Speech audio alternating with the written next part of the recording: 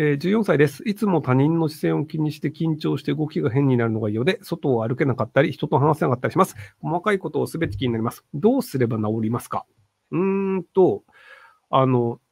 他人に見られていて、なぜ緊張するのかっていうところを、多分、友達と一緒に考えてみてください。あの、一緒にいて気にならない友達がいると思うので、その、友達と一緒に出かけます。で、他人が見ています。その時になぜ他人が見ることが嫌なのかっていうのを、ちゃんと友達と一緒に話してみてください。要はその、他人に見られているということが気になって緊張してるっていうのなんですけど、なぜ緊張するのか。他人に見られることが、なぜそれは緊張の原因になってしまって、で、緊張しているから多分動きが変になると思うんですよね。で、動きが変になってるから、他の人が自分を注目するんじゃないか。で、余計になんかその変な動きをしてるから人が見てしまって困るから、余計にいろいろ気になってしまって、メンタル傷ついてしまって、話しづらくなってしまうとかなんですけど、そもそも論、他人に見られて緊張する必要なくねっていう。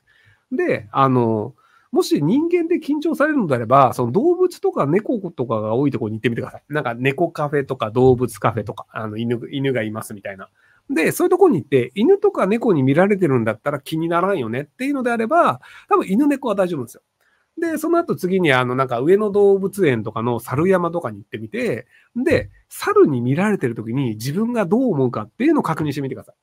で、別に人間に見られてなくて、猿に見られてる分だったら全然いいよねとか、鳩に見られてるんだったら全然いいよねっていうんだったら、次に、あの、幼稚園児のいるところね、さ、動物園とか行くと多分幼稚園児がなんかそのなんか見学的なのがあると思うんですけど、っていうところに近づいてって、幼稚園児に見られた時に自分がどう思うかっていうのを確認してみてください。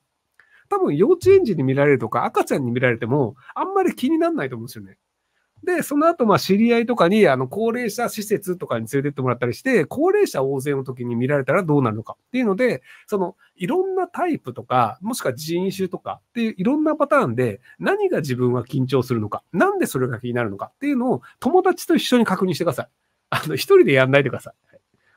要はその原因をまずその直したいっていうのがあると思うんですけど、そもそも論、そのどういう状態だったら緊張するのかっていう原因を細かく区分けして、同い年だったら緊張するとか、男の人だったら緊張するとか、女の人だったら緊張するとか、その家族だったら緊張しない、友達だったら緊張しない、同級生だったら緊張しないとか、学校の先生だったら緊張しないとか、そういうそのいろんな区分けをして、リストを作ったりすると、あの、現実、ここら辺の問題いや、ここら辺の人たちが緊張するパターンだから、この人たちを避けてみようとかっていうのができるんじゃないかなと思います。